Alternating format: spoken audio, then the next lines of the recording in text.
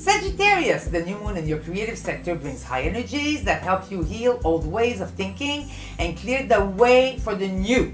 Believe in yourself, be confident, and push on your goals, especially at work.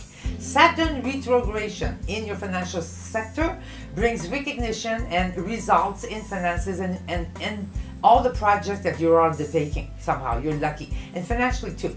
In love, you do attract applause and smiles and maybe an opportunity to make that move you were thinking about. On the weekend, flirting is definitely exciting, married or single. Your magical color fuchsia lacquer numbers are 3 and 21.